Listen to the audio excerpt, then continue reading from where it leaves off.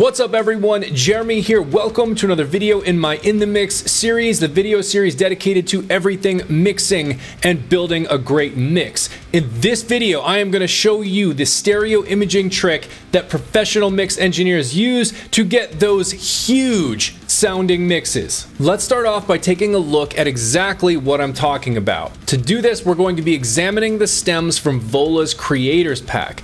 Now, obviously, I can't go and play back an entire song because of copyright issues, so what I'm gonna do is play back part of the bass guitar stem. Why the bass guitar stem? Because that's where this stereo imaging trick was most heavily applied. So here is an example of what that sounds like.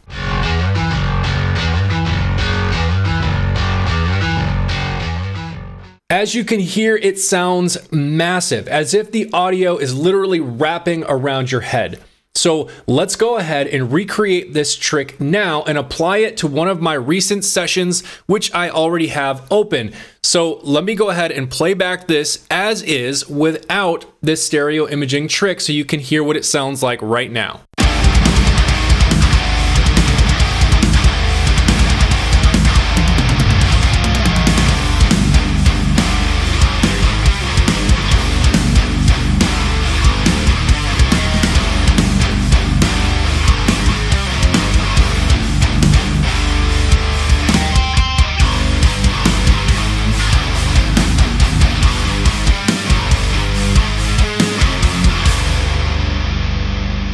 So let's start by comparing the stereo image of my bass track in this session to that of the Vola bass stem. Now, to do this, I am going to be utilizing the ADAPTR Audio Metric AB plugin from Plugin Alliance. I have the Vola bass stem loaded up as a reference track, and I have my bass track soloed, so I can just click this AB button and flip between my bass track and the Vola bass stem so that we can quickly hear the difference. So that's what we're gonna do right now.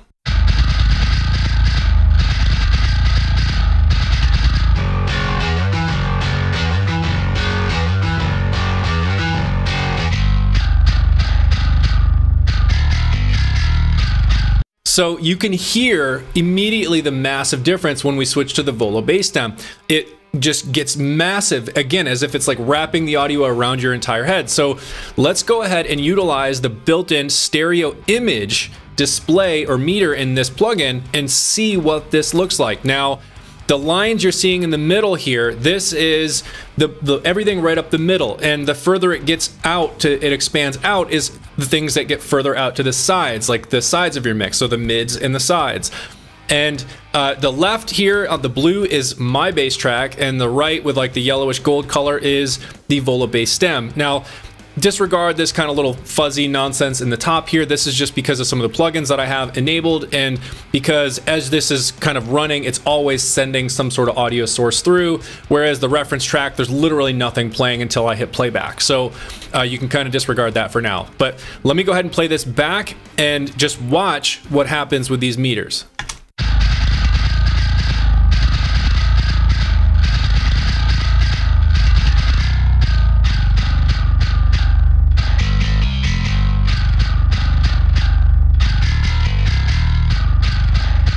So what do we see there? What do we notice?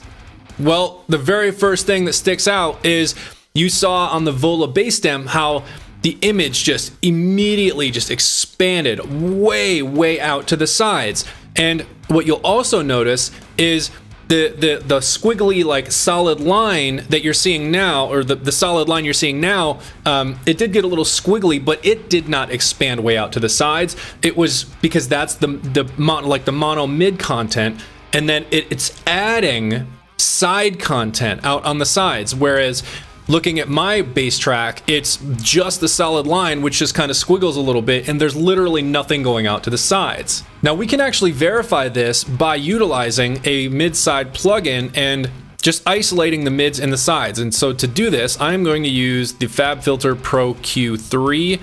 And what we're gonna do is, okay, I've already got this on mid side. So right here, this is left and right or mids and sides. And then I can take this dial and turn it to the left to get just the mid content or to the right to get just the side content.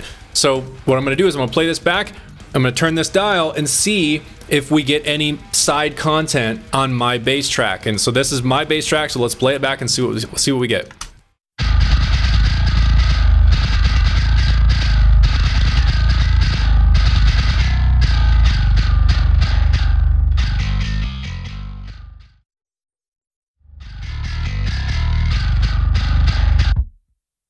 So there you go, that proves it. Obviously, there is no side content coming out whatsoever. So this bass track is completely right up the middle mono. There's nothing on the sides. So it's at this point that most would likely turn to a stereo widening plugin.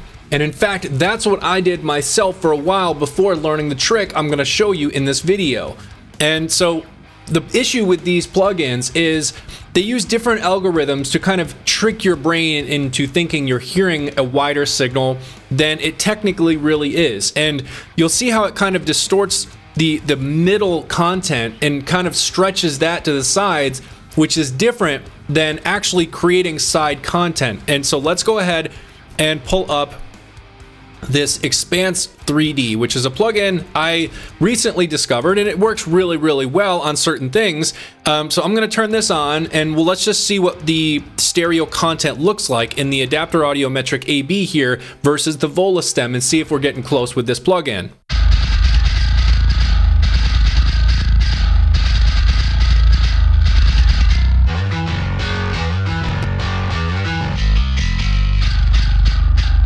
So as you can see on the meter, it, it is creating more side content. However, it is actually expanding that mid content out to the sides, again, using these different algorithms. And yes, it does kind of sound like you're getting a wider signal. However, as you can clearly see by the meters, it is not actually keeping our source mid signal kind of mostly intact and then expanding and creating new side content it's actually like almost distorting that middle signal and kind of trying to spread it out wide and do that kind of trick into think make you thinking it's a wider signal than it really is so now let's go ahead and implement the actual stereo imaging trick. So the first thing we want to do is create a new bus. And so as you can see, I'm in Logic Pro. So for me to create a new bus, I just click on the send and I click on bus and then I can select any bus on here I want. If it doesn't already exist in my session, it'll then show up and I can use the IO labels to rename it if I, if I want. And in fact, that's what I've already done. So I already have bus 13.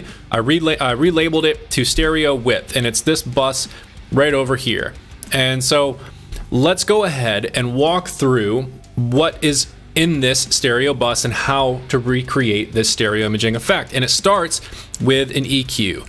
Now, why do we have this? Well, this is actually only being applied to the middle content, the middle source of, of whatever signal is coming through. And it's being applied at 165 hertz. And it's using a 36 de decibel octave, so it's it's not a super sharp, you know, kind of slope, but it's fairly sharp. And the purpose for this is to only allow things above that point to continue passing through this bus and then be processed with this stereo imaging. Why is that? Well, it's because I don't want those lower sub frequencies passing through this stereo imaging. I want those to stay with the source signal and, and to not be expanded because when you do that to those low sub frequencies, they lose their, their weight, their drive, their punch. It just kind of all falls apart down that low. So I'm just cutting off anything below that point to only allow anything above 165 hertz to continue passing through this bus and to be expanded. Now, the next thing is a reverb. And this is the Slate Digital Verb Suite Classics. Uh, you could potentially use any reverb. Uh, obviously, you're going to want to be able to do some of the different things like I have on here, and we'll walk through that now. So this is a, a convolution reverb, and the reason I like this is because it actually recreates, uh, it uses impulse responses to essentially recreate actual spaces. And so the one I'm using here is called Empty Closet. And you you may not think like, well, that that's a great reverb to use for stereo expanding, but the point is is just to find something that has a somewhat short time, like the, the length of the reverb, because you don't want a long decay here. This is just meant to be a short thing. And in fact, you can see we're at uh, 210 milliseconds on the decay. Uh, the other things I want to point out is I'm just increasing the highs here just a little bit, and then we have the stereo width, or the, I'm sorry, the width setting all the way up. And this is what's going to help expand that entire sound and create some of that side content. Now, that's literally it. That is all it takes to, to in this bus. That's it. Just the EQ and then the reverb. Now let's go ahead and pull up the ADAPTR Audio Metric AB plugin again and turn off the Expanse 3D plugin and turn on our stereo with bus and let's see what these images, the stereo imaging looks like in this plugin now.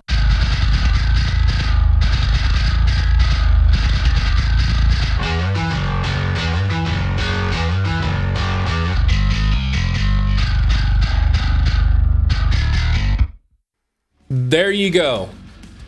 That's it. You can see we now have a stereo imaging display and meter reading that is almost identical to that of the, the Vola bass stem. So that's how easy it is to create this. Now, I want to point out how important it is to have that reverb or have the, the EQ filtering out those low frequencies from passing through this uh, the reverb and then being expanded. So I'm going to turn off that EQ and just watch what happens to these low sub frequencies now. You're going to see them wobble all over the place. And if you listen, you'll actually hear it loses some of that weight.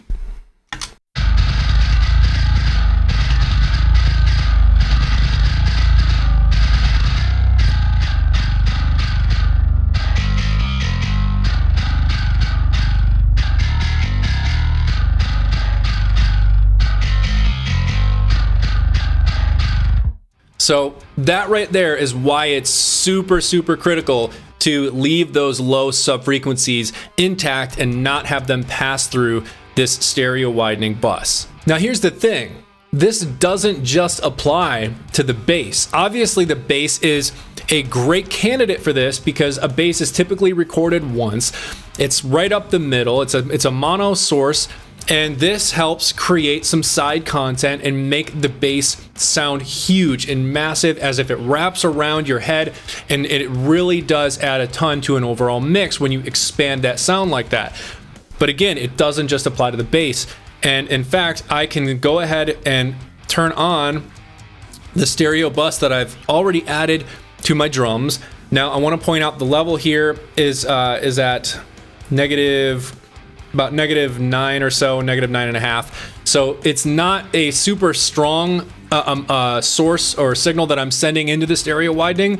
It's just a little bit to get just a subtle expansion to the overall drum sound. Now I've already got the the drum rooms and the overheads and all of that, which are stereo sources. So I don't need a ton, but it does subtle amounts do add a good a good amount of just width to your mix without losing the punch of your drums in the drive.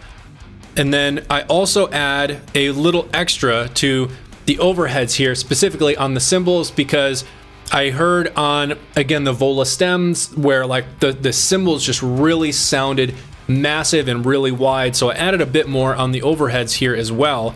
And I've got these pre-fader and just really pumped up because the, the source signal from this is really low. And then the last bit I'm sending into this bus is the guitars as well. Now, lots of you are probably like, wait, wait, wait, what? Reverb on metal rhythm guitars? But again, it's a very, very subtle amount. It's it's almost unnoticeable. Um, unless you have a really trained ear and you're in a good listening environment, you're probably not going to hear much on the guitars, but it does again add a subtle expansion and just hugeness to, to the mix. When you apply it across subtle amounts across all the different elements in your mix it's not a ton. It doesn't sound like the entire mix is in a you know in a closet if you will um, but it does help expand the overall mix and give it that huge sound like you hear on these professional mixes. So let's go ahead and I've got all these turned on now and let's do an AB with this bus on and then I'll mute the bus and you can hear the difference.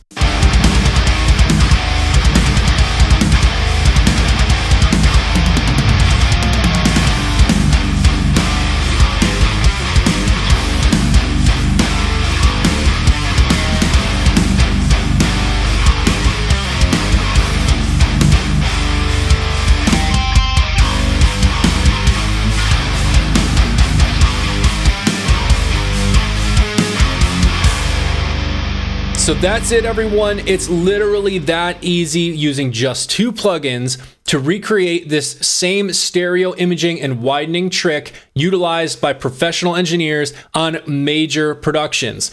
So if you found this helpful and useful, do me a favor and hit that like button down below and consider subscribing to my channel for more like this in the future. And with that, I want to thank you for watching and thank you for your support.